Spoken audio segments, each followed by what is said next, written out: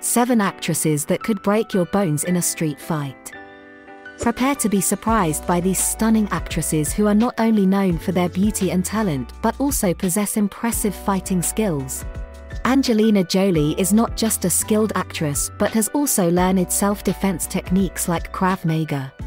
Approach her politely if you want to avoid getting your butt kicked. Courteney Cox turned to Budokan Karate after becoming a mom, empowering herself both physically and mentally.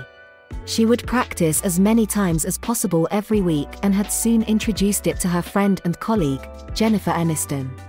In addition to her stellar performances in Buffy the Vampire Slayer, Sarah Michelle Gellar has a black belt in Taekwondo. And let's not forget about Madonna, who holds a black belt in Shotokan Karate. Madonna is not only stunning in her looks, but also in her abilities. These celebrities are not to be messed with. Visit our website to learn more about their amazing fighting skills.